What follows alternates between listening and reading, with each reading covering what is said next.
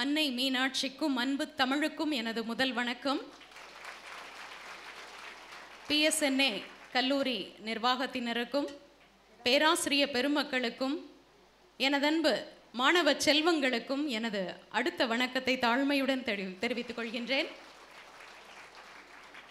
நினைவுகளை பதிவு செய்ய ஒரு பக்கம் நினைவுகளை பகிர்ந்து கொள்ள வாருங்கள். என் பக்கம் இது உங்கள் அபிமான. ஹலோ எஃப்எம் நூற்றாறு புள்ளி நான்கின் டைரி நான் உங்கள் டைரி செல்வா அப்படின்னு ஹலோ பண்பலை நூற்றாறு புள்ளி நான்கில் இரவு நேரத்தில் தினமும் ஒன்பது மணியிலிருந்து பதினோரு மணி வரைக்கும் டைரி செல்வாவா? குரல் வழியே உங்களை வானொலி மூலமாக சந்திச்ச எனக்கு இன்னைக்கு பிஎஸ்என்ஏ கல்லூரியுடைய முதலாம் ஆண்டு மாணவ செல்வங்களான உங்களை நேரில் சந்திக்கிற ஒரு அருமையான வாய்ப்பை நிர்வாகம் எனக்கு நல்கி இருக்குது. அதற்காக என்னுடைய மனமார்ந்த நன்றிகளை தெரிவிச்சுக்கிறேன். ரொம்ப அருமையான ஒரு காலகட்டத்தில் அழகாக விரிய துடிக்கும் மொட்டுகள் மாதிரி உங்கள் ஒவ்வொருத்தருடைய முகங்களையும் பார்க்குறேன் ஏன்னா பள்ளி பருவத்தில் இருந்து கனவு கோட்டையான இந்த கல்லூரி பருவத்துக்குள்ளே காலடி எடுத்து வச்சிருக்கிறீங்க. என்னுடைய நினைவுகள் அப்படியே ஒரு இருபத்தி மூன்று வருடம் பின்னோக்கி போகுது. அன்னைக்கு நானும் உங்களை மாதிரி திருநெல்வேலி சாரதா மகளிர் கல்லூரியில் முதலாம் ஆண்டு மாணவியாக காலடி எடுத்து வச்சேன் பிஎஸ்சி கெமிஸ்ட்ரி எடுத்து படித்தேன் ஸோ இந்த நேரத்தில் நான் பேச இருக்கிற தலைப்பே இம்பாசிபிள் டு ஆம் பாசிபிள் என்னுடைய நிகழ்ச்சியில் நான் நிறைய பேருடைய வாழ்க்கை அனுபவங்களை பகிர்ந்துக்கிறது வழக்கம். அவங்களுடைய வாழ்க்கை கதைகளை மெயில் கடிதங்களா இன்னமும் நீங்கள் நம்ப மாட்டீங்க. நிறைய இன்லன் லெட்டர்ஸ் என்னுடைய நிகழ்ச்சிக்கு வருது. ஸோ அந்த வகையில் தங்களுடைய மனதில் இருக்கிற எண்ணங்களை டைரி நிகழ்ச்சியில் பகிர்ந்துக்கிற அவங்களுடைய விருப்பத்திற்கு இணங்க பொதுவாக எந்த ஒரு நல்ல விஷயமா இருந்தாலும் சரி சந்தோஷங்களை பகிர்ந்துக்கும் போது அது ரெட்டிப்பாகும். மனதில் இருக்கிற துன்பங்களை பகிர்ந்துக்கிறப்போ அது பாதியாக குறையும். அதனால தான் நிறைய பேர் டைரி நிகழ்ச்சியில் முகம் தெரியாத எனக்கு தன்னுடைய சகோதரியாக என்னை பாவிச்சுக்கிட்டு அவங்க நிறைய பேர் அவங்களுடைய வாழ்க்கை கதைகளை எழுதுகிறாங்க அதை நான் தினமும் நிகழ்ச்சியில் நான் படிக்கிறேன். அவங்க அந்த கேரக்டராகவே மாறி நான் நிகழ்ச்சியில் பேசுகிறேன் பதினாறு வருடங்களாக தொடர்ச்சியாக இந்த டைரி நிகழ்ச்சியை தொகுத்து வழங்கிட்டுருக்கிறேன்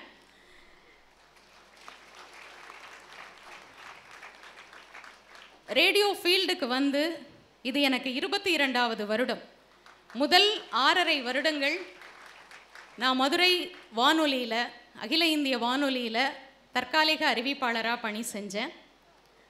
இந்த வானொலி மீதான இந்த ஆர்வம் ஈர்ப்பு இதெல்லாம் எப்படி வந்துச்சு? ஒரு விஷயம் இம்பாசிபிள் அப்படின்னு இருந்த அந்த ஒரு விஷயம் என்னோடய வாழ்க்கையில் எப்படி பாசிபிள் ஆகிருக்குது ஐ எம் பாசிபிள் அப்படின்னு இன்றைக்கு நான் இந்த பெருமை மிகு பிஎஸ்என்ஏ கல்லூரி மாணவர்கள் முன்னாடி நின்று பேசுறதுக்கான வாய்ப்பு எப்படி கிடைச்சிது அப்படிங்கிறத நான் முதல்ல ஒரு சகோதரியா உங்க கூட பகிர்ந்துக்க விரும்புகிறேன் நான் பிறந்து வளர்ந்தது எல்லாமே திருநெல்வேலி மாவட்டத்தில் இப்போ அது தூத்துக்குடி மாவட்டத்தின் ஒரு பகுதியாக இருக்குது முரப்பநாடு அப்படிங்கிற ஒரு சின்ன கிராமம். வரைபடத்தில் ஒரு புள்ளியாக கூட தெரியாத ஒரு குக் கிராமம் அது. நிறைய கட்டுப்பாடுகள் குறிப்பாக பெண்களுக்கு இளம் பெண்களுக்கு நிறைய கட்டுப்பாடுகள் உள்ள கிராமம். கட்டுப்பாடு அப்படின்னா எந்த அளவுக்கு நினைக்கிறீங்க? நான் சைக்கிள் ஓட்ட விரும்புனா அதுக்கு அனுமதி கிடையாது. ஏன்னா அப்போது வந்து இந்த மாதிரி லேடிஸ் சைக்கிள் எல்லாம் கிடையாது. பெண்கள் ஆண்கள் ஓட்டுற சைக்கிளில் காலை தூக்கி போட்டு ஏறி உட்காந்து ஓட்டுறதுக்கு அனுமதி தராத ஒரு குக் கிராமம் அப்படின்னா எத்தனை கட்டுப்பாடுகள் இருந்திருக்கும் அப்படிங்கிறத நீங்கள் யோசித்து பார்க்கணும். ஆனால் என்றைக்குமே வாழ்க்கையில் நமக்கு கட்டுப்பாடுகளும் தடைகளும் இருக்க இருக்க தான் நாம் அடுத்த நிலைக்கு போகணும் அப்படிங்கிற உந்துதல் பிறக்கும். அது என்னோட வாழ்க்கையில் நடந்தது. நான் சிறு வயதில் இருந்தே இலங்கை வானொலியை கேட்டு கேட்டு பழகி இருக்கிறேன் இலங்கை வானொ நீங்கள் அநேகமாக அடுத்த தலைமுறைக்கும் அடுத்த தலைமுறை இளைஞர்களாக இருப்பீங்க. உங்களுக்கு இலங்கை வானொலியை கேட்கறதுக்கான வாய்ப்பு இருக்காது. அழகான தமிழில் அற்புதமான நிகழ்ச்சி தொகுப்பாளர்களுடைய இனிய குரலை கேட்டு வளர்ந்த தலைமுறை இன்னைக்கு இருக்கிற பேராசிரியர்களாக இருப்பாங்க. இவங்க தலைமுறை எங்களுடைய தலைமுறையில எல்லாம் கண்டிப்பாக இலங்கை வானொலி அப்படிங்கிறது ஒரு அங்கமாகவே இருக்கும். தமிழகத்தில் எஃப்எம் வானொலிகள்லாம் வராத காலகட்டத்தில் என்னுடைய இளமை பருவத்தில் அதாவது எண்பதுகளின் ஆரம்பத்தில் நான் வந்து இலங்கை வானொலியை தான் நான் ரொம்ப விரும்பி கேட்பேன். அந்த அறிவிப்பாளர்களுடைய சுத்தமான தமிழ் அவங்க உச்சரிக்கிற விதம் ஒரு நிகழ்ச்சியை மக்களுக்கு பிடித்த வகையில் கொண்டு போகக்கூடிய அந்த நேர்த்தி இது எல்லாமே என் மனசை ரொம்ப கவர்ந்தது. என்னுடைய பன்னிரெண்டாம் வயது அது. அப்போது இலங்கை வானொலியில் காலை நேரத்தில் பிறந்த நாள் வாழ்த்து அப்படின்னு சொல்லிட்டு வாழ்த்துப்பா அப்படின்னு ஒரு நிகழ்ச்சி ஒலிபரப்பாகும். எப்போதுமே என்னுடைய சகோதரர் என்னை விட பத்து வயது பெரியவர் அவர் எப்போதுமே எனக்கு பிறந்த நாளுக்காக ஏதாவது பரிசு கொடுக்கறது வழக்கம். அன்னைக்கு காலையில் நான் ரொம்ப ஆர்வத்தோட காத்திருக்கிறேன். அண்ணா நமக்கு என்ன பரிசு கொடுக்க போகிறாங்க அப்படின்னு. எதுவுமே கொடுக்கல. நானும் குளிச்சுட்டு சரி பள்ளிக்கூடத்துக்கு கிள கிளம்பலாம் அப்படின்னு இருந்த நேரம் எங்கள் அண்ணன் கரெக்டாக எட்டு மணிக்கு இலங்கை வானொலியை டியூன் பண்ணுறாங்க அதில் அந்த வாழ்த்து பாவில் முதல் வாழ்த்தே என்னுடைய பிறந்த நாள் வாழ்த்து. அந்த அறிவிப்பாளர் குரலில் இப்படி ஒலிக்குது. முரப்பநாடு எனும் கிராமத்தைச் சேர்ந்த பனிரெண்டு வயது சிறுமி செல்வ கீதா தனது பிறந்த நாளை இன்று கொண்டாடுகிறார்னு சொன்னவனை குதிக்கிறேன் தரைக்கும் வானத்துக்கும். ஏன்னா என் பெயர் ஒரு முறை வானொலியில் கேட்டுருச்சு அப்படிங்கிற அந்த சந்தோஷம். என்னுடைய அண்ணன் வந்து அந்த பிறந்த நாளைக்கு எனக்கு கொடுத்த பரிசு. நான் விரும்புகிற என்னுடைய அந்த விருப்பமான வானொலியில் என்னுடைய குரலை என்னுடைய பெயரை ஒலிக்க வச்ச அந்த நிகழ்வு. பனிரெண்டு வயதில் ஒரு விதையாக விழுந்த அந்த ஆசை கனவு என்னுடைய வாழ்நாள் முழுக்க அது தொடரும் அப்படின்னு அன்னைக்கு எனக்கு தெரியாது. அப்போ நான் ரொம்ப ஆசையாக போய் அன்னைக்கு நான் எல்லாருக்கும் ஸ்வீட் கொடுத்தது என்னுடைய பிறந்த நாளுக்காக இல்லை. என் பேர் ரேடியோவில் வந்துருச்சு என் பேர் ரேடியோவில் வந்துருச்சு அப்படின்னு சொல்லிட்டு அவ்வளவு ஒரு ஆசையாக போய் எல்லாருக்கும் ஸ்வீட் கொடுக்குறேன். ஸோ இப்படி ஆசைகளையும் கனவுகளையும் சுமந்து ஒரு குக்கிராமத்தில் பிறந்த ஒரு பெண் குழந்தை அம்மா கிட்ட போய் கேட்குது எங்கள் அம்மாட்ட நான் பேசுகிறேன் எங்கள் அம்மா ஒரு ஆசிரியை. அப்போது அம்மா நான் ரேடியோவில் பேசணும். அதுக்கெல்லாம் மெட்ராஸில் பிறந்திருக்கணும். அப்படின்னு சொன்னாங்க. அப்போது கிராமத்தில் பிறந்த யாருக்குமே இந்த வாய்ப்புகள்லாம் கிடையாதா? அப்படின்னு ஒரு ஏக்கம் மனசுக்குள்ள ஆனால் என்ன செய்ய முடியும்? அன்னைக்கு இருந்த தொழில்நுட்ப வசதிகளும் இந்த மாதிரி கிடையாது. நினச்சா ஒரு வானொலியில் நம்மளால் பேச முடியாது. இப்படி ஒரு காலகட்டத்தில் நான் அப்படியே அந்த கனவுகளை மனசுக்குள்ளே சுமந்துக்கிட்டே வளர்றேன். என்னோட பள்ளி பருவத்தில் நான் படித்தது பாளையங்கோட்டையில் சென்ட் இக்னேஷியஸ் கான்வென்ட் அப்படிங்கிற ஒரு மிக பிரபலமான ஒரு பள்ளி. தமிழ் வழி கல்வி தான் நான் அங்கே படித்தேன் பன்னிரெண்டாம் வகுப்பு வரைக்கும் நான் படித்தது தமிழ் மீடியம். தமிழ் மேலே எனக்கு ஒரு தீராத ஆர்வம் இருந்த காரணத்தினால எனக்கு தமிழ் வழியில் படிக்கிறது ரொம்ப பிடிச்சிருந்தது.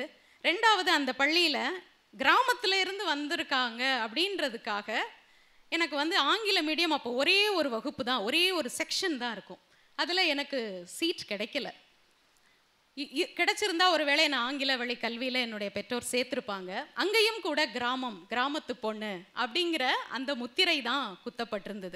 இந்த விஷயங்கள் எல்லாமே அப்போலாம் கான்வென்ட்டில் பார்த்தீங்க இப்போல்லாம் நிலைமை அப்படியே மாறிடுச்சு தமிழ் சொல் தமிழ் வழி கல்வியில் இருக்கிற தனியார் பள்ளிகள் அப்படிங்கிறத பார்க்கவே முடியாது.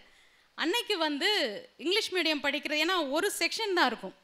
அந்த இங்கிலீஷ் மீடியத்தில் படிக்கிற பிள்ளைகளோட சேட்டைகள் அவங்க பண்ணுற பந்தாவெல்லாம் பார்க்குறதுக்கு நாங்கள் ஏழை பிள்ளைகள் மாதிரி இப்படி பார்ப்போம் ஏன்னா எங்களுக்கு அந்த வாய்ப்பு கிடைக்கல இல்லையா? அவங்க ஆங்கிலத்திலேயே பேசுவாங்க. நாங்கள் தமிழில் தான் பேசுவோம். அன்னைக்கே வந்து இந்த மொழியை வந்து தமிழ் பே தமிழ்நாட்டில் உட்காந்துட்டு தமிழ் பேசுனா அதை தாழ்மையாக நினைக்கக்கூடிய காலகட்டத்தில் நான் பள்ளியில் படித்து வர்றேன். அப்போ என்னுடைய கல் பள்ளியில் இருந்து ஒரு முறை அகில இந்திய வானொலிக்கு ஒரு நிகழ்ச்சிக்காக கூட்டிகிட்டு போகிறாங்க முதல் முதலாக நான் ஒரு வானொலிக்குள்ள திருநெல்வேலி அகில இந்திய வானொலி நிலையம் என்னோட பள்ளிக்கு எதிர்த்த கேம்பஸ் அது. உள்ளே போகிறேன் சத்தியமாக சொல்கிறேன் ஏசி அட்மாஸ்ஃபியருக்குள்ளே அன்னைக்கு தான் நான் முதல் முதலாக நுழையிறேன். அப்பா எப்படி இருக்குது பிரம்மாண்டமாக இருக்குது இதுக்குள்ளே வேலை பார்க்குறவங்களாம் எவ்வளோ கொடுத்து வச்சவங்க? அப்படின்னு அந்த சின்ன வயசில் எனக்கு அந்த ஒரு பிரமிப்பு தான் இருந்தது. அப்போது அன்னைக்கு நிகழ்ச்சியில் பங்கெடுத்துட்டு நாங்கள் வந்துட்டோம். அந்த கனவு அப்படியே இருந்தது. ஒரு முறை வானொலி நிலையத்துக்குள்ளே போயிட்டு வந்ததுக்கு அப்புறமா நாம் எப்படியாவது முதல்லலாம் சின்ன வயசில் பேர் வரணும்னு ஆசைப்பட்டேன். அதுக்கப்புறம் நாம் இந்த வானொலி நிலையத்தில் வேலை பார்த்தே ஆகணும் அப்படிங்கிற ஒரு கனவை வளர்த்துக்கிட்டேன். அது எப்படி நடக்கும் அப்படின்னுலாம் நான் யோசிக்கலை. ஆனால் நடக்கும் அப்படின்னு என் உள் மனசு சொல்லிக்கிட்டே இருந்தது. அதுக்கப்புறமா நான் பள்ளி படிப்பை முடிச்சுட்டு கல்லூரிக்கு வரேன் ஸ்ரீ சாரதா மகளிர் கல்லூரின்னு திருநெல்வேலியில். அங்கே தான் நான் படிக்கிறேன். அங்கே படித்தப்போ செகண்ட் இயர் படித்தப்போ ஒரு குவிஸ் காம்படிஷனுக்கு நிறைய கல்லூரிகளில் இருந்து மாணவர்கள் ரெண்டு ரெண்டு மாணவர்கள் தேர்வு செஞ்சு அகில இந்திய வானொலியில் ஒரு குவிஸ் காம்படிஷன் வினாடி வினா நிகழ்ச்சி. அந்த நிகழ்ச்சியில் திரும்பவும் ஆர்வத்தோடு போய் கலந்துக்கிறேன். அந்த நிகழ்ச்சியில் நான் வந்து நாங்கள் வந்து வின் பண்ணலை ரன்னராக தான் வந்தோம். என்னுடைய கிராமத்துக்கு ஐந்து முப்பது மணிக்கு பேருந்து. அது விட்டால் ஆறரை மணிக்கு. அப்போல்லாம் இப்போ மாதிரி ஃபோனில் தகவல் சொல்கிறதுக்கெல்லாம் எந்த வாய்ப்பும் கிடையாது. வீட்டில் தொலைபேசியும் இல்லாத காலகட்டம். அப்போ நான் எல்லாரும் கிளம்பி போனதுக்கு அப்புறமா அஞ்சேகால் மணி நான் போய் அங்கே இருந்த நிகழ்ச்சி தொகுப்பாளரை சந்திக்கிறேன். சார் இந்த மாதிரி நான் கிராமத்துலேருந்து வர்றேன். எனக்கு வந்து தமிழில் ரொம்ப ஆர்வம் உண்டு. நான் அதுக்கு முன்னாடியே பள்ளியிலையும் கல்லூரியிலையும் நிறைய கவிதைகள் கட்டுரைகள் எல்லாம் பரிசும் வாங்கியிருக்கிறேன். ஆனா, நான் வந்து ஒரு எழுதித்தர்ற ஒரு ஒரு கவிதையை யாரையாவது வச்சு நீங்கள் நிகழ்ச்சியில் பயன்படுத்திக்கங்க சார் அப்படின்னு சொல்கிறேன் சரிம்மா எழுது அப்படின்னு சொன்னாங்க. அது ஒரு அது ஒரு புத்தாண்டு பிறக்க இருந்த தினம் டிசம்பரின் கடைசி காலகட்டம். அப்போ நான் வேக வேகமாக ஒரு பேப்பரை எடுத்து அவர்கிட்டயே பேப்பர் பேனா எல்லாம் வாங்கி எழுதி ஒரு கவிதையை அவர்கிட்ட நீட்டுறேன். கீழே வந்து செல்வகீதான்னு போட்டிருக்கிறேன். என்னுடைய எண்ணம் என்னுடைய பெயரில் அந்த கவிதை வானொலியில் ஒரு நாள் யாரோ ஒருவரால் படிக்கப்படும். அதுவே போதும் அப்படின்னு நினச்ச காலகட்டம். அந்த நிகழ்ச்சி தொகுப்பாளர் என்ன? ஏமா நீயே வந்து தயாரிப்பாளர் அவர் நிகழ்ச்சி தயாரிப்பாளர். எழுதியிருக்கீங்களே நீங்களே படிக்கிறீங்களான்னு கேட்டாங்க. என்னால் நம்பவே முடியல. சார் நான் படிக்கணுமா? நான் படிக்கணுமா? ஆமாம்மா போய் படிங்கன்னு ரெக்கார்டிங் ரூம்குள்ளே என்னை உள்ள அனுமதிக்கிறாரு. அப்போ தான் நான் எழுதி முடிச்சிருந்தேன். எந்த தவறும் இல்லாமல் ஒரு மாடுலேஷனோட நான் என்ன எப்படி படிக்கணும்னு ஒரு சிந்தனையில் எழுதியிருந்தனோ அதையே அப்படியே படிக்கவும் சிங்கிள் டேக்கில் அதை ரெக்கார்ட் பண்ணி முடித்தார் இந்த பக்கம் ஓடியே வந்து நான் அவர்கிட்ட சார் நான் பேசினதை ஒரு தடவை போட்டு கே காம் காமிப்பீங்களா? நான் கேட்கலாமா? அப்படின்னா கேளுங்கம்மா. உண்மையிலே சொல்கிறேன் வாழ்க்கையில் மிக மிக சந்தோஷமாக நான் உணர்ந்த ஒரு தருணம் ஏன்னா என்னோட குரலை ஒலிப்பதிவு செஞ்சு நானே முதல்ல அதை கேட்குறேன் அந்த வாய்ப்பு எனக்கு இறைவன் எனக்கு கொடுத்த மிகப்பெரிய வரமாக உணர்ந்தேன். என் கண்ணில் இருந்து கண்ணீர் கொட்டுது. அவர் நல்லா படிச்சீங்கம்மா ஏன் அழுறீங்க? அப்படின்னு கேட்குறாரு இல்லை சார் நான் இதெல்லாம் எதிர்பார்க்கவே இல்லை. நீங்கள் ஒரு கிராமத்திலேருந்து வந்தாலும் எல்லாரும் போனதுக்கு அப்புறமும் வந்து என்னை சந்திச்சீங்க இல்லையா? அதுக்கு உங்களுக்கு கிடைச்ச ஒரு பரிசு. உங்களுடைய குரலில் இது அடுத்த வாரம் இந்நேரத்தில் ஒலிபரப்பாகும்னு ஒலிபரப்பு தேதி நாள் நேரம் எல்லாத்தையுமே கொடுத்தார். இதுதான். என்னுடைய கனவை இலக்கை அடைவதற்கு நான் தொட்ட முதல் படி. அதுக்கப்புறமா என்னோட வாழ்க்கையில் இனிமே நமக்கு ரேடியோ தான். வேற எந்த வேலையும் இல்லை அப்படிங்கிற முடிவோடு இருக்கிறேன். பெற்றோர்கள் ஆசிரியர்கள். எங்கள் வீட்டில் என்னுடைய மூத்த சகோதரர் ஆசிரியர் அவங்க மனைவி ஆசிரியர் இப்படி எல்லாரும் ஆசிரியர்களாக இருந்ததுனால எனக்கு இயல்பாக அந்த பணி மேலே ஈர்ப்பே ஏற்படலை. ஆனால் அவங்களுக்கு எப்படின்னா ஒரு பொம்பளை பிள்ளைய ஒரு பிஎட் படிக்க வச்சிட்டோம்னா அதுக்கு ஒரு கவர்மெண்ட் ஜாப் கிடச்சிரும் செட்டில் ஆயிரும்னு எங்கள் அப்பா போய் பிஎட் காலேஜுக்கு சீட்டெல்லாம் ஏற்பாடு பண்ணிட்டு வர்றார். நான் பிஎட் படிக்கவே மாட்டேன் அப்படின்னு தலைகீழே நிற்கிறேன் என்னவோ மண்ணா போ நீ கேட்கவா போகிற அப்படின்னு திட்டுனார் அன்னைக்கு. ஆனால் எங்கள் அம்மா கிட்ட நான் சொல்லிக்கிட்டே இருந்தேன். அப்பா என்னை திட்டினாலும் பரவாயில்ல. நீங்கள் எல்லாரும் பெருமைப்படுற ஒரு நிலைக்கு நான் வந்து தாம்மா தீருவேன். அது நான் ரேடியோவில் தான் நான் வேலை செய்வேன்னு சொன்னேன். எங்கள் அம்மாவுக்கெல்லாம் சுத்தமாக இப்போ நம்பிக்கை இல்லை. இப்படியே சொல்லிக்கிட்டே இரு. அப்பா ஒன்று சொன்னால் நீ ஒன்று சொல்கிற அப்படின்னு சொல்லிட்டு விட்டுட்டாங்க. அதுக்கப்புறம் என்னுடைய கல்லூரி படிப்பு முடிஞ்சு ஒரு வருட பிஜிடிசிஏ கோர்ஸ் கோயம்புத்தூரில் படித்தேன் படித்து முடிக்கவும் எனக்கு திருமணம் ஆயிடுச்சு. அதுக்கு இடையிலேயே வந்து நான் மது திருநெல்வேலி வானொலியில் ஒவ்வொரு மூன்று மாதங்களுக்கும் ஒரு முறை கவிதை பூக்கள் பகுதியில் எனக்கு நான் அந்த முதல் முறை எழுதின கவிதை அவருக்கு பிடிச்சிருந்தது. அது ஒலிபரப்பானதை கேட்டுட்டு நிறைய பேர் கடிதங்கள் எழுதியிருந்திருக்கிறாங்க. இந்த குரலும் இந்த உச்சரிப்பும் நல்லா இருக்கு அப்படின்னு சொன்னதுனால அந்த நிகழ்ச்சி தொகுப்பாளர் எங்களுடைய பள்ளிக்கே வந்து என்னுடைய இதை வந்து சாரி கல்லூரிக்கே வந்து என்னுடைய காண்டாக்ட் நம்பர் அப்போல்லாம் வீட்டு தொலைபேசி கிடையாது. கல்லூரியில் தான் தொலைபேசி. அந்த எண்ணை வாங்கி ஒவ்வொரு மூன்று மாதங்களுக்கும் ஒரு முறை கவிதை பூக்களில் கவிதையை படிக்கக்கூடிய வாய்ப்பை அப்போது சன்மானம் அதுக்கு இருநூற்றி ஐம்பது ரூபாய். முதல் முறையாக நான் சம்பாதித்த பணம் அது. இருநூற்றி ஐம்பது ரூபாய் ஒரு செக்கு கொடுத்தாங்க. அப்போ எனக்கு அக்கௌண்ட் கூட கிடையாது. வேக வேகமாக போய் பேங்க்கில் ஒரு மைனர் அக்கௌண்ட்லாம் ஓப்பன் பண்ணி அதையெல்லாம் போட்டு இப்போ நான் சொல்லும்போது அது இன்றைய தலைமுறைக்கு என்ன பேங்க்கில் அக்கௌண்ட் பண்ண ஓப்பன் பண்ணுறது ஒரு அக்கௌ ஒரு செக்கை போடுறதெல்லாம் பெரிய விஷயமா நினைக்கலாம். எந்த வசதி வாய்ப்புகளும் இல்லாத தடைகளை மட்டுமே பார்த்து பழக்கப்பட்ட ஒரு கிராமத்து சிறுமிக்கு தன் பேரில் ஒரு அக்கௌண்ட் ஓப்பன் ஆகிறது அப்படிங்கிறதே மிகப்பெரிய கனவு மிகப்பெரிய சந்தோஷம். அன்னைக்கு அது நடந்தது. அதில் இருந்து ஒவ்வொரு மூன்று மாதங்களுக்கும் ஒரு முறை அந்த இருநூற்றி ஐம்பது ரூபாய் பணம் என்னுடைய அக்கௌண்ட்டுக்கு வர ஆரம்பிச்சது. அந்த பணத்தை எடுத்து நான் முதன் முறையாக வாங்கின புக்கு பொன்னியின் செல்வன். எனக்கு தமிழ் மேலே ரொம்ப ஆர்வம் உண்டு. அப்போ வீட்டில் புத்தகங்கள் வாங்கணும்னு கொஞ்சம் காஸ்ட்லியாக போய் வாங்கணும் அப்படின்னு கேட்டால் அனுமதிக்க மாட்டாங்க. வேறு வேலை இல்லை அப்படின்றவாங்க. ஆனால் நான் சம்பாதிச்ச பணம் அப்படிங்கிறதுனால எதுவுமே சொல்லாமல் வாங்கி கொடுத்தாங்க. அதுக்கு முன்னாடியே நான் பொன்னியின் செல்வனை எங்களுடைய கல்லூரி நூலகத்தில் இருந்து படிக்க ஆரம்பிச்சிருந்தேன். முதல் பாகம் மட்டும் படிச்சிருந்தேன். அங்கே ரெண்டு தொகுதி தான் இருக்கும். ரெண்டு செட் ஆஃப் புக்ஸ் தான் இருக்கும். அந்த புக்குக்கு அவ்வளோ அடிதடியாக இருக்கும். நம்ம போகிற நேரம் அந்த புக் ஃப்ரீயாக இருக்காது. யாராவது எடுத்து படிச்சுட்டு இருப்பாங்க. அதனாலேயே நமக்குன்னு ஒரு பொன்னியின் செல்வன் தொகுப்பு வாங்கணும் அப்படிங்கிற ஒரு ஆசையில் நான் சம்பாதிச்ச பணத்தில் முதல்ல முதல்ல ஒரு பொன்னியின் செல்வன் வாங்கி நானே வீட்டில் உட்காந்து அதை மறுபடி மறுபடி மறுபடி படித்து குந்தவையையும் நந்தினியையும் என்னுடைய வாழ்க்கையின் அங்கங்களாக அப்படியே நினச்சி திரிஞ்ச காலகட்டம் இருக்குது பாருங்கள் இன்றைக்கும் மணிரத்னத்தோட பொன்னியின் செல்வனை மதுரையில் இருக்கிற பிரபலமான தேட்டரில் போய் என்னுடைய குழந்தைகளோட பார்க்கும்போது எனக்கு அந்த பழைய ஞாபகங்கள் தான் வந்தது. எத்தனை ஆர்வத்தோட இந்த படைப்பை நாம் படிச்சிருப்போம் அப்படின்னு. இந்த இடத்துல நான் முக்கியமாக அன்பு கண் கண்மணிகளே உங்களுக்கு நான் சொல்ல ஆசைப்படுறது. சின்ன வயசில் எங்கள் வீட்டுக்கு பேப்பர் ஒரே ஒரு பேப்பர் வரும். அந்த பேப்பரை அத்தனை தடவை வாசித்து வாசித்து பழகுவேன்.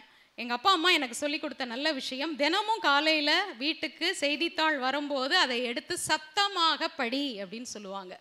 சின்னதாக உச்சரிப்பில் பிழை விட்டோம்னா எங்கள் அம்மா கொட்டுவாங்க தலையில் ஆசிரியர் இல்லையா?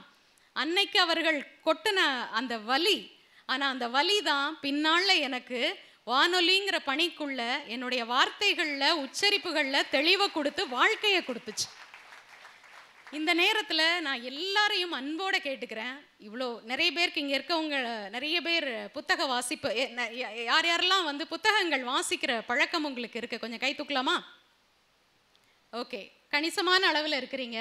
இந்த வாசிப்பை தயவு செய்து உங்கள் வாழ்க்கையோட ஒரு அங்கமாக இணைச்சிக்கோங்க. நீங்கள் இன்றைக்கி மொபைல் மொபைல் ஃபோனில் எல்லாமே உங்களுக்கு கிடைக்குது தேவைக்கு அதிகமாகவும் கிடைக்குது. அதையெல்லாம் தாண்டி ஒரு புத்தகத்தை வாங்கி அந்த பேப்பரை புரட்டும் போது ஒரு மனம் வரும் பாருங்க. அதோட நீங்கள் ஒரு புத்தகத்தை படிக்கிறேன் அதை படித்து முடிக்கும் போது அடடா இன்னைக்கு இந்த புக்கை படித்து முடிச்சிட்டோம் அப்படின்னு கிடைக்கிற அந்த சந்தோஷம் வந்து இன்றைய தலைமுறை ரொம்ப இழந்திருக்குதோ அப்படின்னு மனசுக்கு வேதனையாக இருக்குது. ஏன்னா வாசிப்பு தான் என்ன மாதிரி ஒரு கிராமத்து சிறுமிக்கு ஒரு வாழ்க்கையை கொடுத்துச்சு. வீட்டில் முன்னாடியெல்லாம் பிளாஸ்டிக் கவர்ஸ் கிடையாது. ஸோ என்ன தின்பண்டம் வாங்கிட்டு வந்தாலும் பொட்டலமாக தான் இருக்கும். கடலை மிட்டாயை சாப்பிட்டுட்டு அதை டேபிள் மேலே விரித்து வச்சு சுருக்கங்களை நீக்கிட்டு அதில் என்ன இருக்குன்னு வாசிக்கிற அந்த பழக்கம் எனக்குள்ளே இருந்ததுனால தான் எதையாவது ஒன்று என்ன கிடைக்குதோ கையில் அதில் என்ன இருக்குதோ வாசிக்கணும். அந்த வாசித்த விஷயத்தை இயல்பாகவே நான் வந்து போய் எங்கள் அம்மா கிட்ட சொல்லுவேன். இதில் இப்படி போட்டிருந்துச்சுமா அப்போது நம்ம படிக்கிற விஷயத்த அதை மற்றவர்களுக்கு பிடிக்கிற வகையில் எடுத்து சொல்லும் ஒரு இயல்பு எனக்குள்ளேயே இருந்திருக்குது அது எனக்கு தெரியல. இன்னைக்கு வரைக்கும் இந்த ஆர்ஜே ரேடியோ ஜாக்கி பணியில் நான் படிக்கிற விஷயங்களை பார்க்குற விஷயங்களை மற்றவர்களுக்கு கேட்குறவர்களுக்கு பிடிக்கிற விதத்தில் எடுத்து சொல்கிற அந்த பக்குவத்தை அந்த சிறு வயது இயல்பு எனக்குள்ள அந்த வாசிப்பு மூலமாக கொண்டு வந்திருக்குது அப்படிங்கும்போது இப்போ நினச்சி பார்க்குறப்போ அது ரொம்ப மகிழ்ச்சியான ஒரு விஷயமா இருக்குது. இப்படியாக கிராமத்தில் இருந்து மதுரை நகருக்கு திருமணமாகி வந்ததுக்கு அப்புறமா அகில இந்திய வானொலி மதுரையில் நான் முதன் முதல்ல போய் ஒரு சின்ன நிகழ்ச்சியில் பகிர்ந்து அங்கே என்னுடைய அண்ணியார் வந்து இதே மாதிரி நிகழ்ச்சிகள் கொடுத்துட்டு இருந்தவங்க. அவங்க அவங்க சொல்லி நான் உள்ளே போய் மெது மெதுவாக அங்கே நிகழ்ச்சிகளில் பங்கெடுக்க ஆரம்பித்து நிகழ்ச்சி தொகுப்பாளராக பகுதி நேர அறிவிப்பாளராக நான் வந்து ரெண்டாயிரத்து ஒன்றில் வந்து முதன் முதல்ல நான் வந்து தேர்வாகிறேன். மதுரை அகில இந்திய வானொலியில். வானொலி பயணத்தில் எனக்கு தாய் வீடு எதுன்னு கேட்டால் மதுரை அகில இந்திய வானொலி தான். புகுந்த வீடு தான் தினத்தந்தி குழுமத்தின் ஹலோ எஃப்எம் ஆறரை வருடங்கள் வாட் இஸ் ரேடியோ ஒரு மைக் இருக்குதுன்னா அது முன்னாடி எதை பேசணும் எதை பேசக்கூடாது? நீங்கள் சொல்கிற விஷயங்கள் எவ்வளவு ஆத்தென்டிகேட்டடாக இருக்கணும்? உங்களுடைய மொழி எவ்வளவு முக்கியம் வாய்ந்தது? தமிழ் அதை எவ்வளவு அழகாக மக்கள்கிட்ட கொண்டு போய் சேர்க்க முடியும் அப்படிங்கிற அற்புதமான விஷயங்களை கற்றுக் கொடுத்த ஒரு களமாக மதுரை அகில இந்திய வானொலி எனக்கு அன்றைக்கு கற்றுக் கொடுத்த என்னுடைய ஆசான்களும் இருந்தாங்க. ஸோ அது மூலமாக நான் என்னுடைய வானொலி கனவை மெது மெதுவாக நெருங்கி கிட்டத்தட்ட மதுரை வானொலியில் பணிபுரியும் போதே எனக்கு அவ்வளவு மகிழ்ச்சி. அப்போ எஃப்எம்லாம் வரலை. நான் முத முதல்ல மதுரை வானொலிக்கு எஃப்எம் வர்ற நேரத்தில் நான் வந்து தினத்தந்தி குழுமத்தின் ஹலோ எஃப்எம்மில் ரெண்டாயிரத்தி ஏழில் பணியில் சேர்ந்துட்டேன். அப்போ தான் ரெண்டாயிரத்தி எட்டு வாக்கில் தான் மதுரை வானொலியில் எஃப்எம் அப்படிங்கிற ஒரு அந்த பேனல்லையும் நான் செலெக்ஷன் லிஸ்ட்டில் இருந்தேன். ஆனால் அங்கே இல்லாமல் ஏன்னா அது பகுதி நேர பணி. இது தனியார் ஒரு தந்தி நிறுவனத்தை சார்ந்த ஒரு எஃப்எம்மாக இருந்தாலும் இது நமக்கு முழு நேர பணி அப்படிங்கிற ஒரு நம்பிக்கையினால் நான் ரெண்டாயிரத்தி ஏழில் இங்கே வர்றேன். இங்கே நான் எங்களுக்கு ட்ரைனிங் கொடுக்கும்போதே சொன்ன ஒரு விஷயம். ஒரு மைக் ஆனால் லட்சோப லட்சம் காதுகள் கிட்ட நீங்கள் பேசுகிறீங்க அப்படிங்கிறத உணர்ந்துக்கோங்கன்னு சொன்னாங்க. ஏன்னா ஒரு மைக்கில் என்னதையோ நினச்சதெல்லாம் பேசிட்டலாம் பேசிடலாம். நம்ம ஆர்ஜேனா படபடன்னு பேசணும் அப்படியே யங்ஸ்டர்ஸை கவர் பண்ணணும் அப்படின்னு எல்லாம் நினைக்காதீங்க. நீங்கள் படித்து அதில் சரியான தெரிஞ்ச விஷயங்களை நீங்கள் பேசும்போது அதுதான் one mic with lakhs and lakhs of ears அப்படின்னு எங்களுக்கு முதல் முதல்ல ட்ரைனிங் கொடுத்தாங்க. ஸோ அந்த வார்த்தை இன்னமும் எனக்கு ஒலிச்சிட்ருக்குது. எந்த ஒரு விஷயத்தையும் உறுதிப்படுத்தப்படாத தகவலையும் என்னுடைய இருபத்தி இரண்டு வருட மீடியா வாழ்க்கையில் நான் மைக் முன்னாடி பேசியதே கிடையாது. அந்த அளவுக்கு நான் என்னை தயார்படுத்திக்கிட்டு தான் நான் வந்து மைக் முன்னாடி போய் ஸ்டுடியோவில் போய் ரெக்கார்டிங்கில் நான் உட்காருவேன். லைவ் நிகழ்ச்சி ஆனாலும் சரி ரெக்கார்டட் ஷோவானாலும் சரி. இப்படித்தான் வரைபடத்தில் ஒரு புள்ளியாக கூட இல்லாத ஒரு குக்கிராமத்தில் பிறந்த செல்வகீதா. இன்னைக்கு உலக வரைபடத்தையே மாற்றக்கூடிய வல்லமை படைத்த பொறியாளர்களை உருவாக்கக்கூடிய பிரபலமான பிஎஸ்என்ஏ கல்லூரியின் முதலாம் ஆண்டு மாணவர்கள் இந்த இண்டக்ஷன் ப்ரோக்ராமில் உங்கள் முன்னாடி நின்று ஒரு புள்ளியாக பேசிகிட்டு இருக்கிறேன் இதுதான் இம்பாசிபிள் டு ஐம் பாசிபிள் அப்படின்னு என்னோட வாழ்க்கையில் நடந்த விஷயம். இதில் அவசியமாக நான் திருமணம் ஆனதுக்கு அப்புறமா என்னுடைய கனவு நிறைவேறதுக்கு என்னுடைய கணவர் மிக முக்கிய பங்கு வகித்தார். பொதுவாக ஒரு சாதாரண நடுத்தர குடும்பத்தில் இருக்கும் ஒரு பெண்ணுக்கு மீடியாவில் பணி அப்படிங்கும்போது எல்லாருமே யோசிக்க தான் செஞ்ச காலம் அது. இன்னைக்கு மாறி இருக்குது. மீடியாவில் என்னுடைய கூட பிறந்த சகோதரர்கள் கூட எதுக்கு மீடியாலெல்லாம் போய் வேலை பார்த்துட்டு இருக்க அப்படின்னு கேட்டப்போ உனக்கு பிடிச்சிருக்கா? நீ செய். அப்படின்னு என்னுடைய கணவர் எனக்கு பக்கபலமாக நின்று என்னுடைய குழந்தைகள் வளர்ப்பிலையும் சரி எல்லாத்துலேயுமே எனக்கு உறுதுணையாக இருந்து என் கனவை அடைவதற்கு உறுதுணையாக இருந்த ஒரு ஆண் மகனை இந்த கூட்டத்தில் குறிப்பிடுவதில் நான் மிகவும் பெருமை அடைகிறேன். இங்கே எத்தனையோ மாணவர்கள் இருக்கிறீங்க. உங்களுடைய சகோதரியா இருக்கட்டும் சகோ சகோதரிகளாக இருக்கட்டும் உங்களுடைய எதிர்கால வாழ்க்கையில் உங்களுக்கு வரக்கூடிய துணைவியாக இருக்கட்டும் அவங்களுடைய கனவு என்ன லட்சியம் என்ன அப்படிங்கிறத தெரிஞ்சுக்கிட்டு அவங்களுக்கு தோள் கொடுக்கிற ஒரு தோழனா நீங்களும் இருக்கணும் அப்படிங்கிற ஒரு வேண்டுகோளையும் கோரிக்கையையும் இந்த நேரத்தில் நான் முன்வைக்கிறேன். அதே மாதிரி பெண் பிள்ளைகள் எந்த தாழ்வு மனப்பான்மையையும் உங்கள் மனசுக்குள்ள தயவு செய்து வளர விடாதீங்க. அன்னைக்கு அந்த கிராமத்தில் இருந்து நம்மால் இது முடியுமா அப்படின்னு நினச்சி முடங்கி போயிருந்தா இன்னைக்கு வந்து ஹலோ பண்பலையில் டைரி செல்வா அப்படின்னு ஒரு ஆர்ஜே இன்னைக்கு வந்து நான் அவங்க முன்னாடி நின்று பேசியிருக்கவே முடியாது. எத்தனையோ தடைகள் வந்தது. அதுதான் சொல்கிறேன்ல சைக்கிள் ஓட்டக்கூட தடை இருந்த கிராமம். நான் என்னோட வானொலி பணிங்கிறது ஒரு க கனவு மாதிரி இருசக்கர வாகனம் டூ வீலர் ஓட்டிட்டு போகணும் அப்படின்னு என் மன் மைண்டில் ஒரு கனவு அந்த வயசில். அதே மாதிரி நான் மதுரைக்கு திருமணமாகி வந்ததுக்கு அப்புறமா நான் நான் கிராமத்தில் இருக்கும்போதே எங்கள் அப்பாவுக்கு தெரியாமல் டிவிஎஸ் ஃபிஃப்டியை மாந்தோப்புக்குள்ளே ஓட்டிட்டு ஓட்டிட்டு விழுந்துட்டு விழுந்துட்டு கொண்டு வந்து வைப்பேன். ஸோ அப்படியே நான் ஓட்டி பழகினேன். சைக்கிள் டூ வீலர்லாம் ஓட்டி பழகி மதுரைக்கு வந்ததுக்கு அப்புறமா ஹலோ பண்பலையில் வேலை கிடைச்சதுக்கு அப்புறமா என்னுடைய கணவர் முதன் முதலாக ஒரு ஸ்கூட்டி வாங்கி கொடுத்து அவருக்கு ரொம்ப பயம். இந்த மஞ்சக்கோடு போட்டிருப்பாங்கம்மா இதுக்கு இந்த பக்கமே போகணும் சரியா அப்படின்னு என் கையில் கீயை கொடுத்தாரு. நானும் அதே மாதிரி வண்டி ஓட்டி பழகினேன். மூணு வருடங்கள் கடந்திருந்தது. அப்போ என் கணவர்கிட்ட மெதுவாக கேட்குறேன் ரெண்டு வட வருடங்கள் கடந்திருந்தது. ரெண்டாயிரத்தி ஒன்பதில் ஏன்பா நம்ம ஒரு சின்ன கார் வாங்குவோமா? அப்படின்னு கேட்குறேன் அப்போ நாங்கள் கூட்டு குடும்பம். என் மாமனார் என்னது காரா? அதெல்லாம் அப்படியெல்லாம் நம்ம வந்து பெரிய டாம்பீகமாலாம் இருக்க முடியாது. அந்த வார்த்தை இன்னமும் ஒலிக்குது. டாம்பீகமாலாம் இருக்க முடியாது அப்படின்னு சொன்னாங்க. அதையும் என்னுடைய சம்பாத்தியத்திலேயே லோன் போட்டு ஒரு மாருதி எயிட் ஹண்ட்ரடை வாங்கி நான் அதுக்கப்புறம் அதை ஓட்டி பழகினேன். அதுக்கு முன்னாடி என் கணவர்கிட்ட பெர்மிஷன் கேட்குறேன் அவர் சொல்கிறாரு நீ முதல்ல கார் ஓட்டி பழகு அப்புறம் பார்த்துக்கலாம் ஏன்னா அவருக்கு எண்ணம் இவ எங்கே ஓட்ட போகிறான்னு என்னுடைய அலுவலக பணி ஆறரைக்கு முடியும். நம்ப மாட்டீங்க. ஆறரை மணிக்கு போய் நான் டிரைவிங் ஸ்கூல் வாசலில் நின்னேன்.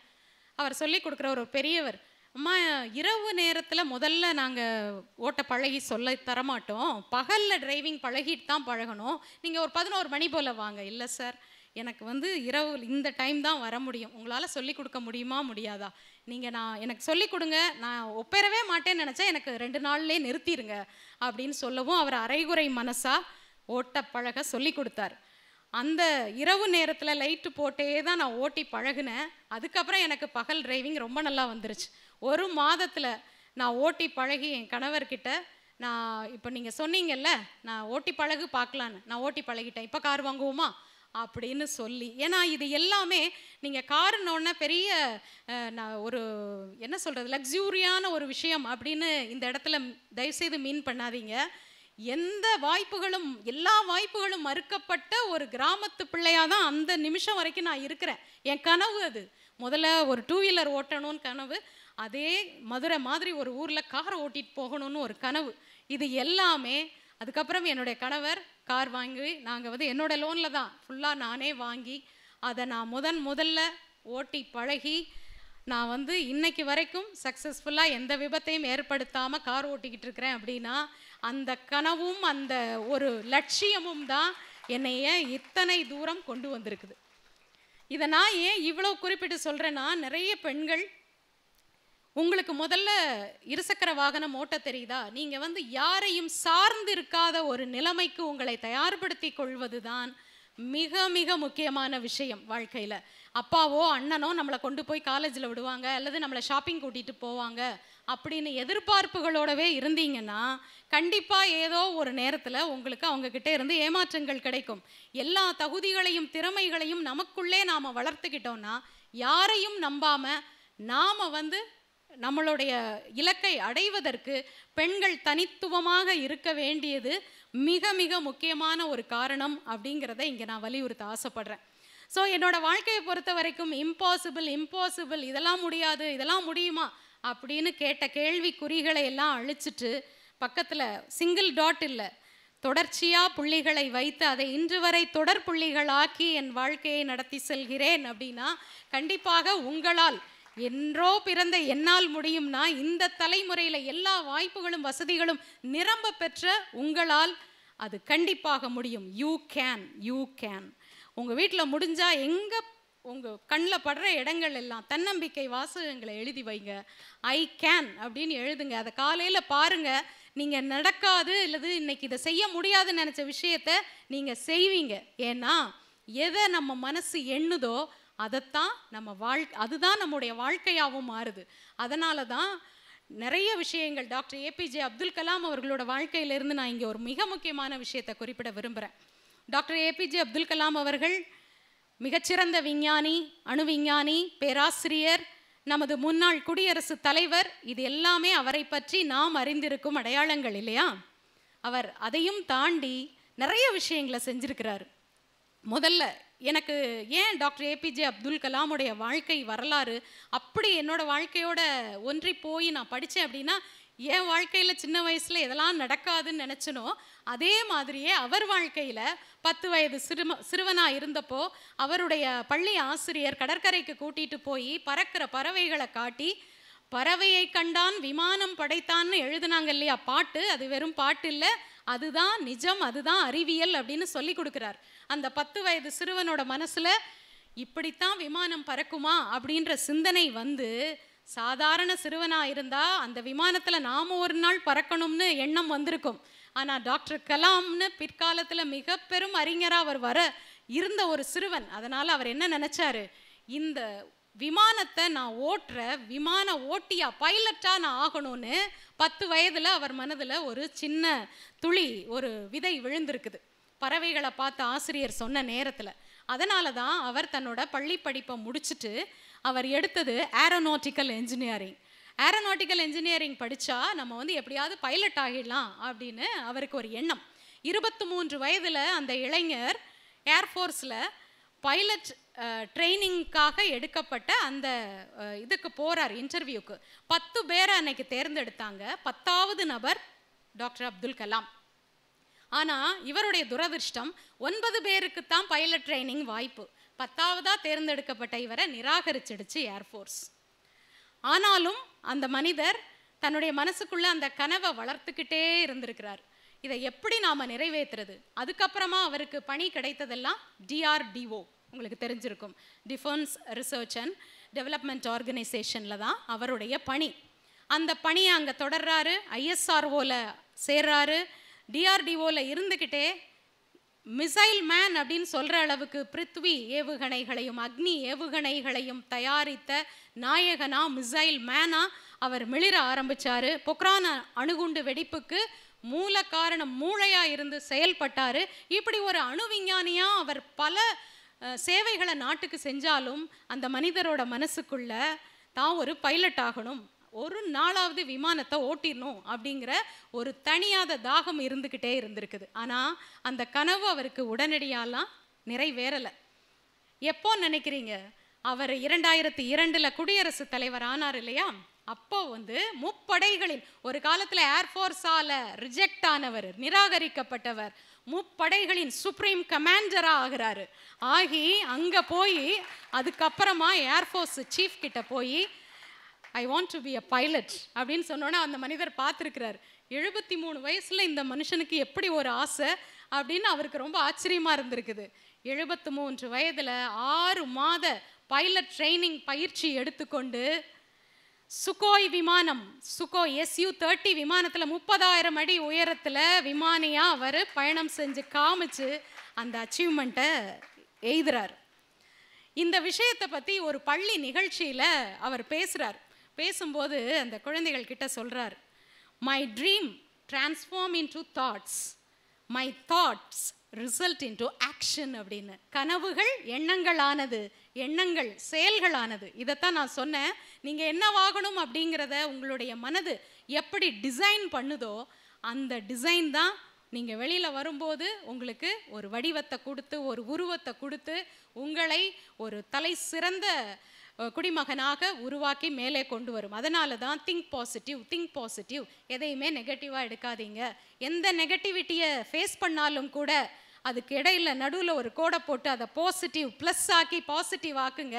நிராகரிப்புகளில் இருந்து பாடங்களை கற்றுக்கொண்டு வாழ்க்கையில் அடுத்து முன்னேற்றத்துக்கு என்ன வழி அப்படிங்கிறத யோசிங்க அப்படிங்கிறதுக்காகத்தான் டாக்டர் கலாமோட வாழ்க்கையிலிருந்து இந்த விஷயத்த சொன்னேன். சரி அவர் ஒரு அணு விஞ்ஞானி ஆயிட்டாரு குடியரசுத் தலைவர் ஆயிட்டாரு.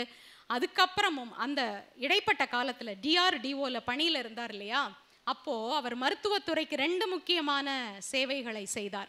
எத்தனை பேருக்கு நிறைய பேருக்கு தெரிஞ்சிருக்கலாம் சில பேருக்கு தெரியாமல் இருக்கலாம். அவர் ஒரு முறை ராஜஸ்தானில் ஜெய்ப்பூரில் இருக்கிற நிம்ஸ் மருத்துவமனை நேஷனல் இன்ஸ்டிடியூட் ஆஃப் மெடிக்கல் சயின்ஸ்க்கு போகிறாரு அங்கே அவருடைய நண்பரை பார்க்க தான் யதார்த்தமாக போகிறார் அங்கே இருக்கிற டாக்டர் ராஜு அப்படிங்க சோமராஜு அப்படிங்கிறவரை மீட் பண்ணுறார் யதார்த்தமாக கார்டியாலஜி பக்கம் போனப்போ அங்கே கேட்குறாரு இந்த இதயம் பழுதுபட்டவங்களுக்கெல்லாம் உயிர் காக்கும் கருவியாக வைக்கப்படுற இந்த ஸ்டென்ட் இருக்கு இல்லையா அதோடைய விலை என்னன்னு கேட்குறாரு எழுபதாயிரம் ரூபா அப்படின்னு அப்போவே சொல்கிறாங்க அந்த மருத்துவர். ஏன் இவ்வளவு விலை இந்த கரு சாதனத்துக்கு அப்படின்னு கேட்டப்போ we are importing from foreign countries that's why this price அப்படின்னு அந்த டாக்டர் சொல்லவும் இந்த விஞ்ஞானி மனசுக்குள்ள இதுக்கு ஒரு தீர்வை கண்டுபிடிக்கணுமே. நாம் வந்து எத்தனையோ ஏவுகணைகளை அழிக்கிற ஏவுகணைகளை கண்டுபிடிக்கிறோம். ஒரு உயிரை வாழ வைக்கக்கூடிய ஒரு மருத்துவ சாதனத்தை நம்மால் கண்டுபிடிக்க முடியாதா அப்படின்னு அவர் மைண்டில் ஓட ஆரம்பிச்சது. அப்போ தான் அவர் டிஆர்டிஓவில் இருக்கிற அங்கே இருக்கிற மற்ற விஞ்ஞானிகள் கிட்ட பேசுகிறார் அப்போது மிசைல்ஸ் தயாரிக்க பயன்படக்கூடிய உயர் ரக ஸ்டீல் அதை பயன்படுத்தி பெரிய பெரிய சைஸில் அந்த விலை உயர்ந்த ஸ்டீலை வச்சு மிசைல்ஸ் தயாரிக்கிறோம். ஸ்டென்ட் எவ்வளவு? கால் இன்ச்சு கூட இல்லாத ஒரு ஸ்டென்ட்டை தயாரிக்கிறதுக்கு மிக குறைந்த அளவு அந்த ஸ்டீல் போதும். அப்போ அதை வச்சு இதை வந்து இதய ஸ்டென்ட்டுக்கு யூஸ் பண்ணுறதுக்கு பயன்படுத்தலாமான்னு மருத்துவ விஞ்ஞானிகள் கிட்ட அடுத்து வரார். அங்கே வந்து கேட்குறப்போ அவங்க அதை ஆராய்ச்சி பண்ணி பார்த்துட்டு ஆமாம் சார் இதில் பாசிபிலிட்டி இருக்குது நாமளே இதை ப்ரொடியூஸ் பண்ணலான்னு சொல்லி அவர் நிம்ஸ் மருத்துவமனைக்கு போன ஐந்தாம் வருடத்தில் இவருடைய ஐடியாவில் உருவான அந்த ஸ்டென்ட் தயாராகுது. அந்த ஸ்டெண்ட்டுக்கு பேர் கலாம் ராஜு ஸ்டெண்ட் அப்படின்னே வைக்கிறாங்க. அதோட விலை எவ்வளவுன்னு நினைக்கிறீங்க? எழுபதாயிரம் ரூபாய் மற்ற ஸ்டெண்ட்டோட விலை. இவர் தயாரித்த இந்த ஸ்டெண்ட்டோட விலை வெறும் பத்தாயிரம் ரூபாய். இங்கே தான் அந்த எளிமையான மனிதர் ஏழைகளுக்காக நாட்டு ஏழைகளுக்காக அவங்களோட உயிர் காக்கிறதுக்காக இந்த ஒரு விஷயத்தை கண்டுபிடிச்சு அதை உலகத்துக்கு சமர்ப்பிக்கிறார். இத்தோட நின்னுடலை மாற்றுத்திறனாளிகள் பார்க்குறாரு. போலியோவினால் பாதிக்கப்பட்ட மாற்றுத்திறனாளிகளை சந்திக்கிறப்பெல்லாம் அவருக்கு மனசு ரொம்ப வேதனைப்படுமா.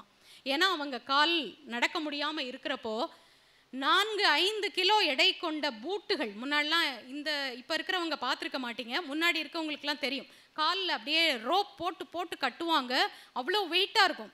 அதை தூக்கி வைக்கிறதுக்கே அவங்களுக்கு தனி சத்து வேணும். அப்படி ஒரு கடினமான பூட்டுகளை பயன்படுத்திட்டு இருந்த மாற்றுத்திறனாளிகளுக்கு நாம் என்ன செய்யலான்னு யோசிச்சாரு. கார்பன் மூலக்கூறுகளை வைத்து மிகவும் குறைந்த எடையில் நான்கு கிலோ ஐந்து கிலோன்னு அவங்க காலில் மாட்டி நடந்தாங்க. அதுக்கு மாற்று சாதனமாக வெறும் நானூறு கிராம் எடையில் கேலிபர்ஸை கண்டுபிடித்து தயாரித்து அதை மாற்றுத்திறனாளிகளுக்காக கொடுத்து இன்று வரைக்கும் அது பயன்பாட்டில் இருக்குது அப்படின்னா ஒரு அணு விஞ்ஞானியாக ஒரு குடியரசுத் தலைவராக ஒரு பேராசிரியராக டாக்டர் கலாமை தெரிந்த பல பேருக்கு அவர் செய்த இந்த மருத்துவத்துறை சார்ந்த சாதனைகளும் தெரியணும் அப்படிங்கிறதுக்காக தான் இவ்வளோ பேர் முன்னாடி அந்த விஷயத்த நான் சொல்கிறேன் நிறைய பேருக்கு அது தெரிஞ்சிருக்கலாம். நீங்கள் தெரிஞ்ச நல்ல விஷயங்களை முடிஞ்ச வரைக்கும் மற்றவர்களோட பகிர்ந்துக்கோங்க. வாட்ஸ்அப்பில் வர்ற கண்ட கண்ட தகவல்களையும் ஷேர் பண்ணி விடுறதை விட நீங்கள் இதுக்கு தான் நான் சொல்கிறது வாசிப்பு அப்படிங்கிறது நம்முடைய மூளையில் போய் பதியும். நம்ம மனசின் மனதின் ஆழத்தில் பதியும். நாம் ஆழ்ந்து படிக்கிற விஷயங்கள். ஸோ உங்களால் இன்னைக்கு என்னால் புக் எடுத்து வாசிக்க முடியாது அப்படின்னாலும் மொபைலில் குறைஞ்சபட்சம் தேவையில்லாத விஷயங்களை பார்க்குறத விட்டுட்டு இந்த மாதிரி பிடிஎஃப் நிறைய இருக்குது உங்களுக்கு இன்னைக்கு கூகுள் கிண்டல்லலாம் எவ்வளவோ புக்ஸ் இருக்குது. ஸோ அதையெல்லாம் வாசிங்க. உங்களுக்கு எது பிடிச்சிருக்குதோ வாசிங்க. எல்லாரும் இலக்கியத்தையே வாசிக்கணும் அப்படின்னுலாம் கிடையாது.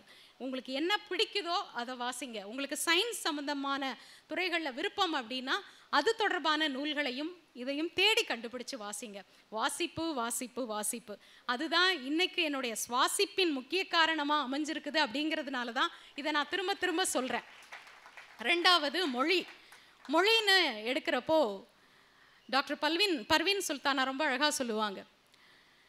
மொழி அப்படிங்கிறது அது வந்து நாம் பேச்சு வழக்கு ஒரு மொழி. அதை விட்டுட்டு அது ஆங்கிலம்தான் அறிவு. தமிழ் வந்து அறிவு கிடையாது அப்படின்னு தயவுசெய்து நினைக்காதீங்க. எந்த மொழியுமே அதை மொழியாக தான் பார்க்கணும். ஆங்கிலம் என்பது வெறும் மொழி மட்டுமே அறிவு அல்ல. அதே மாதிரி நிறத்தை எடுத்துக்கிட்டா சிவப்பு என்பது ஒரு நிறமே அன்றி அது அழகின் வரையறை அல்ல அப்படின்னு ரொம்ப அழகாக சொல்லுவாங்க. ஸோ நீங்கள் மொழியாக இருந்தாலும் சரி ஏன்னா இந்த நிறத்தையும் நம்முடைய பேச்சு வழக்கையும் வச்சு நம்மளால் சரளமாக ஆங்கிலத்தில் பேச முடியல நம்மளை நிராகரிச்சிருவாங்களோ அப்படின்னு பயந்து பயந்து பயந்து உங்களுடைய திறமைகளை உங்களுக்குள்ளேயே பூட்டி வைக்கவே வைக்காதீங்க. நல்ல தமிழில் அழகு தமிழில் செல்ல தமிழில் இனிமையாக பேசுங்கள். உங்களது குரல் ரசிக்கப்படும் உங்களது வார்த்தைகள் ரசிக்கப்படும். அதுக்கு நானே ஒரு உதாரணம். ஏன்னா நிறைய பேர் என்கிட்ட கேட்பாங்க உங்கள் குரல் நல்லா இருக்கு. என்ன பண்ணுறீங்க ஐஸ்கிரீம்லாம் சாப்பிட மாட்டீங்களான்னு. என்னுடைய குரலில் எந்த விஷ விஷயமும் கிடையாது. நான் பேசும் தமிழில் நம்மளுடைய தாய்மொழியை நாமளே சரியா உச்சரிக்காம சரியா பயன்படுத்தாம இருந்தா வேற்றுமொழிக்காரர்கள் எப்படி வந்து நம்முடைய தமிழுக்கு மரியாதை கொடுப்பார்கள்? முக்கா தொல்காப்பியத்துல இருந்து எத்தனையோ சங்க இலக்கியங்களை படைச்ச நம்மளுடைய தமிழ் மொழியின் ஜீவ நாடியே அதை கொலை செய்யாம உச்சரிக்கிறது. தமிழை தமிழ் அப்படின்னு உச்சரித்து பழகுங்க. தமிழ் அப்படின்னு தயவு செய்து சொல்லாதீங்க. யாராவது சொன்னா அதை திருத்துங்க. மொழியுடைய மூச்சு காற்றே அந்த உள்ளார்ந்த ஆன்மாவே அதை பேசுகிற மக்களோட உச்சரிப்பில் தான் இருக்குது. ஸோ தயவு செய்து நீங்கள் தாய்மொழியை தவறில்லாமல் பேசுங்க. அழகாக அதை உங்களுடைய அன்றாட வாழ்க்கையில் அதுக்காக செந்தமிழ் தான் பேசணும் அப்படி கிடையாது. எத்- உங்களால் முடிஞ்ச வரைக்கும் நல்ல தமிழில் பேசுங்கள். எங்களுக்கு எஃப்எம்மில் நாங்கள் செலக்ட் ஆனப்போ சொன்னது அதுதான். ஏன்னா தினத்தந்தி தமிழுக்காக நிறைய தொண்டுகளை ஆற்றிய சீபா ஆதித்தனார் அவர்களால் ஏற்படுத்தப்பட்ட ஒரு நாளிதழ். ஸோ அது சார்ந்த ஒரு பண்பலை அப்படிங்கும்போது எங்களுக்குள்ளேயும் ஒரு பயம் இருந்தது. சுத்தமாக செந்தமிழில் தான் பேசணுமான்னு. அப்போ தான் எங்களுடைய சீஃப் சொன்னாங்க நீங்கள் பேசுகிற தமிழ் செந்தமிழாக இருக்க வேண்டும் என்ற அவசியமில்லை. செல்லத்தமிழாக இருந்தால் போதும் அப்படின்னு சொன்னாங்க. அந்த செல்லத்தமிழ் தான் மக்களோட இதயங்களோட உங்களோட வார்த்தைகளையும் உங்கள் நிகழ்ச்சிகளையும் கொண்டு சேர்க்கும்னு. அது நூறு சதவீதம் உண்மை. அது ஒரு ஆர்ஜேக்கு மட்டும் சொல்லப்பட்ட விஷயம் இல்லை. ஒவ்வொருத்தருக்குமே ஒவ்வொரு தமிழனுக்கும் சொல்லப்படுற விஷயம். அழகான தமிழில் செல்ல தமிழில் நல்லா பேசுங்க. நம்மளுடைய மொழி தான் நம்முடைய பலம் அப்படிங்கிறத எங்கெங்கெல்லாம் உங்களுக்கு வாய்ப்பு கிடைக்குதோ அங்கெங்கெல்லாம் நிரூபித்து காட்டுங்க. அதில் தான் நாம் தமிழர்கள் அப்படின்னு தலை நிமிர்ந்து சொல்கிறதுக்கான வாய்ப்பு அமையும். சுந்தர் பிச்சை. தமிழகத்தில் இருந்து இன்னைக்கு கூகுள் சிஓவா உயர்ந்திருக்கிற ஒரு மா மனிதர் அவருடைய ஒரு இன்டர்வியூ பார்த்தேன். மதுரையில் கூட சில வருடங்கள் அவங்களுடைய குடும்பம் இருந்ததாக படித்தேன் அவர் இப்போ கூகுள் சிஓ ஆனதுக்கு அப்புறமா உங்களை மாதிரி யங்ஸ்டர்ஸுக்கு சொல்கிற ஒரு சின்ன வீடியோ கிளிப்பில் இருந்து அதை நான் பார்த்தேன். என்ன சொல்கிறாருன்னா அவர் முத முதல்ல அமெரிக்காவுக்கு மேல்நிலை படிப்புக்காக எம்எஸ் படிக்கிறதுக்காக போகணும் அப்படின்னு நினச்சப்போ அவங்க அப்பா வந்து தடை சொல்லலை. குடும்பம் மிக மிக நடுத்தர குடும்பம். ஆனால் தன்னோட மகனுடைய கனவுக்காக அவர் வந்து நான் உனக்கு சப்போர்ட் பண்ணுறேன் நீ போ அப்படின்னு சொல்லி அவரை அனுப்பி வச்சு அந்த ஃப்ளைட் காஸ்ட் அவங்க அப்பாவுடைய ஒரு வருட சேலரி ஒரு வருட சம்பளம் அவருடைய டிக்கெட் ஏர் டிக்கெட்டுக்கு போயிருந்திருக்குது. ரொம்ப வருத்தம் அடைஞ்சிருக்கிறாரு சுந்தர் பிச்சை. அங்கே போய் இறங்கினப்போ கலிஃபோர்னியாவில் அவர் பார்த்த அவர் கனவு கண்டு வச்சிருந்த நிலை வேறா இருந்தது. அங்கே வேற நிலையாக இருந்தது ஏன்னா காஸ்ட் ஆஃப் லிவிங் அவ்வளவு ஜாஸ்தி. இங்கேருந்து போகிற ஒரு நடுத்தர தமிழனால் கலிஃபோர்னியாவில் ஸ்டான்ஃபோர்ட் யூனிவர்சிட்டியில் படிக்கிறப்போ எக்கச்சக்கமான இன்னல்களை அவர் சந்திச்சிருக்கிறார். சாப்பாட்டில் இருந்து எல்லாத்துக்குமே கஷ்டம். ஆனால் அதை தன்னோட பெற்றோர்கிட்ட தன்னுடைய நிலையை சொல்லி பகிர்ந்துக்கிறதுக்கு கூட ஒரு ஃபோன் கால் பண்ண கூட அவரால் முடியலையாம். ஏன்னா அன்னைக்கு இருந்த காலகட்டத்தில் ஒரு நிமிஷம் நீங்கள் வந்து காலில் பேசணும் அப்படின்னா வெளிநாட்டு கால் அழைப்பு எடுக்கணும்னா ரெண்டு டாலர் பணம் வந்து அங்கே செலவழிக்கணுமா அந்த ரெண்டு டாலர் இருந்தால் நான் ரெண்டு வேளை சாப்பாடு என்னால் சாப்பிட முடியும். அப்படிப்பட்ட கஷ்டமான சூழ்நிலையில் தான் நான் இருந்தேன். ஆனால் என்ன என்னுடைய மைண்டுக்குள்ளே இருந்த டீப் பேஷன் ஆன் டெக்னாலஜி அந்த டெக்னாலஜிங்கிற வார்த்தையை அவர் அவ்வளோ அழகாக சொல்லியிருந்தார். டீப் பேஷன் ஆன் டெக்னாலஜி இன்றைக்கி எல்லாருமே நீங்கள் பொறியியல் கல்லூரியில் படிக்க வந்திருக்கிறீங்க. ஒவ்வொரு துறை சார்ந்து உங்களுக்கு பிடிச்ச பாடங்களை தேர்ந்தெடுத்திருக்கிறீங்க. சில பேர் பெற்றோரோட வற்புறுத்தலால் கூட இன்ஜினியரிங் கல்லூரியில் சேர்ந்திருக்கலாம். எது எப்படியோ நீங்கள் இப்படி ஒரு அற்புதமான கல்லூரியில் படிக்கக்கூடிய வாய்ப்பு கிடைத்ததற்காக ஒரு முறை இறைவனுக்கு மனமார்ந்த நன்றியை தெரிவியுங்கள். ஏன்னா இந்த வாய்ப்பு கூட மறுக்கப்பட்ட எத்தனையோ பிள்ளைகள் உங்களை மாதிரி பிள்ளைகள் இன்னும் டவுன் சவுத்துலலாம் நிறைய இருக்கிறாங்க. ஸோ அப்படிப்பட்ட ஒரு சூழ்நிலையில் நீங்கள் கண்டிப்பாக பெருமையாக சொல்லிக்கலாம் நான் பிஎஸ்என்ஏ ஸ்டூடெண்ட் அப்படின்னு. இன்னைக்கு வெளியே வந்திருக்கிற அலுமினி நான் ஃபேஸ்புக்கிலலாம் நான் இந்த மாதிரி பிஎஸ்என்ஏல போய் பேச போகிறேன்னு சொன்னோன்னே நிறைய அலுமினி ஸ்டூடெண்ட்ஸ் வந்து அவ்வளோ ஹாப்பியாக வந்து எங்கள் காலேஜில் போய் பேச போகிறீங்களா ரொம்ப ஹாப்பி ரொம்ப ஹாப்பின்னு போட்டப்போ அவங்க எல்லாருமே இன்றைக்கி பெரிய பெரிய நிலைகளில் இருக்கிறாங்க. எனக்கு அவங்க சொல்லும்போது புரிஞ்சுது. இந்த கல்லூரியோட முப்பத்தி எட்டு வருட கால உழைப்பில் இவ்வளோ பெரிய நிர்வாகத்தை கட்டி அமைச்சு இன்னைக்கு மாணவர்களுக்காக மிகச்சிறந்த கல்வி கல்வியை தந்து வேலை வாய்ப்பையும் நல்கக்கூடிய ஒரு சிறந்த நிறுவனமாக கல்வி நிறுவனமாக பிஎஸ்என்ஏ கல்லூரி வளர்ந்து நிற்குது.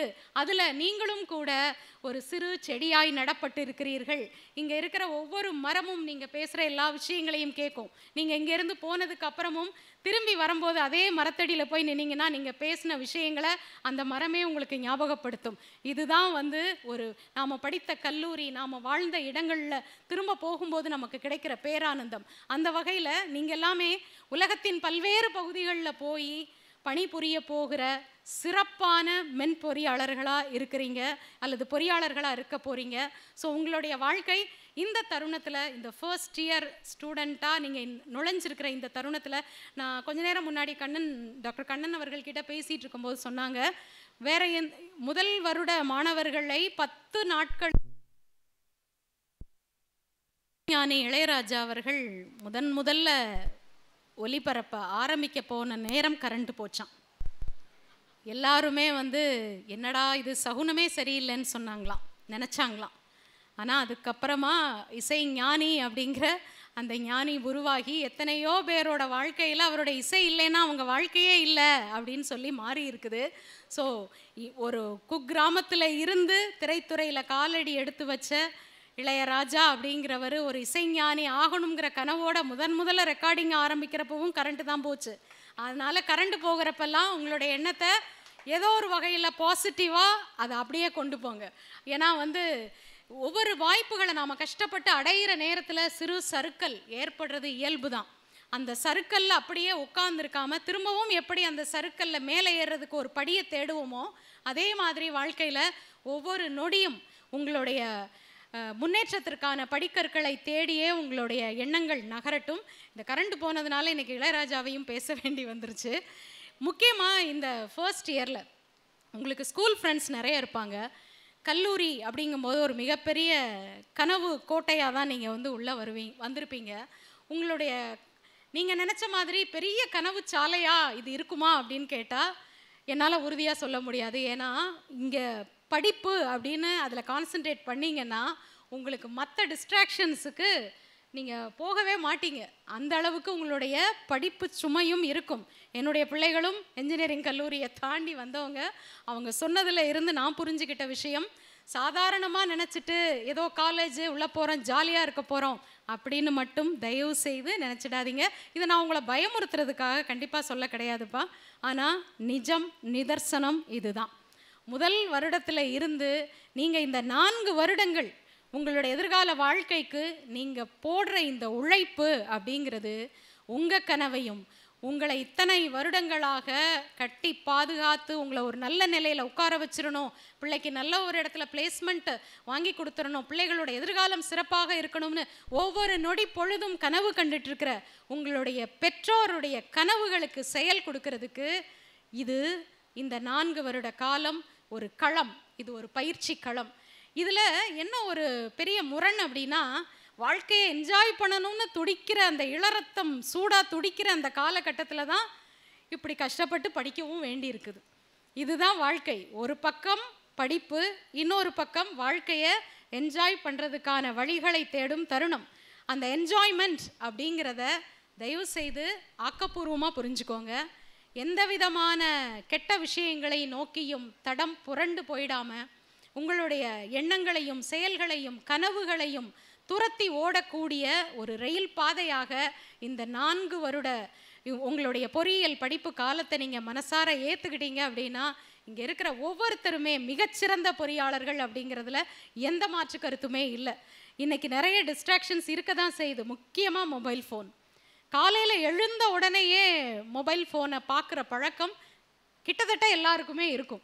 பெரியவங்களுக்கு கூட இப்போ அது வந்துருச்சு. அப்படி இல்லாமல் என்ன சொல்கிறாங்க யோகா பயிற்சியாளர்கள் தியான பயிற்சியாளர்கள்லாம்?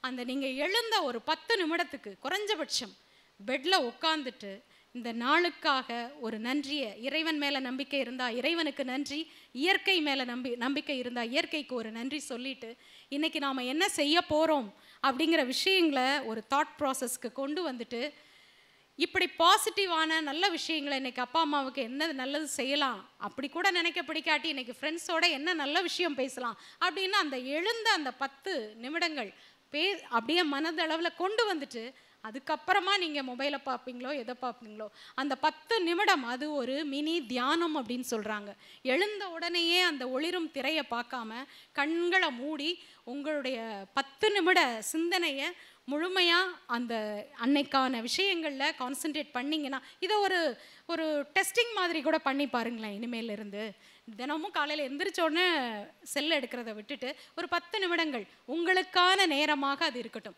அதுக்கப்புறமெல்லாம் நீங்கள் எழுந்து காலேஜுக்கு ஓடி வர்றதுக்கு தான் சரியாக இருக்கும். அது வரைக்கும் நீங்கள் மார்னிங் அந்த பத்து நிமிடத்துக்கு ஒரு முக்கியத்துவம் கொடுத்து பாருங்கள் வாழ்க்கையில் மிகப்பெரிய மாற்றங்கள் ஏற்படக்கூடும். நான் impossible to I am possible அப்படின்னு சொன்னது என்னோட வாழ்க்கைக்காக மட்டும் இல்லை. ஜப்பான் ஜப்பானில் நாகசாகி ஹிரோஷிமா நாகசாகியில் மிகப்பெரிய அணுகுண்டு தாக்குதல் நடந்த அந்த நேரத்தில் ஒரு புல் பூண்டு கூட மிச்சம் இல்லாமல் எல்லாமே அழிந்து போன அந்த க- சூழ்நிலையிலையும் அந்த குண்டு விழுந்து அந்த அந்த விழுந்த இடத்துல இருந்து சில மைல் தொலைவில் கொஞ்சம் பாதிப்பு கம்மியாக இருந்த இடங்கள்ல மக்கள் வீடுகளை இழந்து எதுவுமே இல்லாமல் வெறும் கட்டசோறு மாதிரி இருக்கிற இடத்த பார்த்துட்டு கண்ணீர் விட்டுட்டு இருந்த நேரத்தில் அந்த ஊரில் இருந்த ஒரு வயதான பெரியவர் ஒவ்வொரு வீட்லையா போய் இந்த கறி துண்டு இருக்கு இல்லையா? அதை வச்சு எழுதினாராம். தன்னம்பிக்கை வரிய பாருங்க. நம்மால் முடியாதது யாராலும் முடியாது. யாராலும் முடியாதது நம்மால் மட்டுமே முடியும் அப்படின்னு ஜாப்பனீஸில் எழுதினாராம். இதை அப்படியே சொல்லி பாருங்களேன். நம்மால் முடியாத ஒரு விஷயம் யாராலையும் முடியாது. ஆனால் யாராலையும் முடியாத ஒரு விஷயம் நம்மால் முடியும் அப்படிங்கிற அந்த சிந்தனையை அன்னைக்கு அந்த அணுகுண்டு விழுந்த இடத்துல ஒரு ஒரு வயதான மனிதர் சுவருக்கு சுவர் எழுதி போட்டாராம்.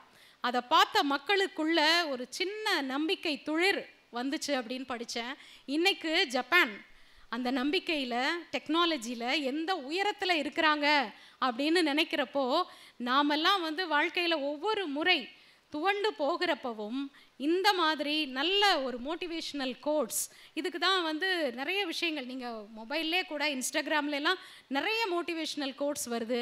எதையாவது ஒரு ரெண்டு ஒன்று டெய்லி பாருங்கள் உங்களுக்குள்ள பெரிய தாக்கத்தை அது உடனே ஏற்படுத்தாட்டாலும் ஏதோ ஒரு சிக்கல் அப்படின்னு வர்றப்போ கண்டிப்பாக அது உங்களுக்கு மிகப்பெரிய நம்பிக்கையை கண்டிப்பாக கொடுக்கும். படுத்து கிடப்பவனுக்கு பகல் கூட இரவுதான் எழுந்து நடப்பவனுக்கு திரும்பும் திசையெல்லாம் கிழக்கு தான் அப்படின்னு சொல்லி வச்சிருக்கிறாங்க.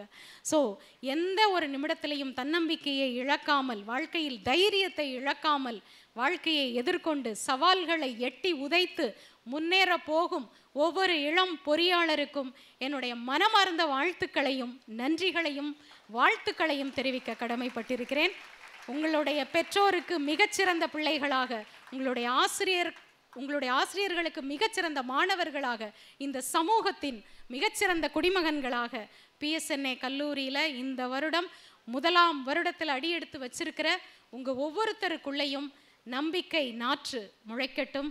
அது மிகச்சிறந்த அறுவடையை இந்த தேசத்துக்காகவும் நல்கட்டும் அப்படின்னு வாழ்த்துக்களை சொல்லி விடைபெறேன். எப்போதுமே நிகழ்ச்சியிலேருந்து நான் டைரி நிகழ்ச்சியை முடிக்கிற நேரத்தில் ஒன்று சொல்லுவேன்.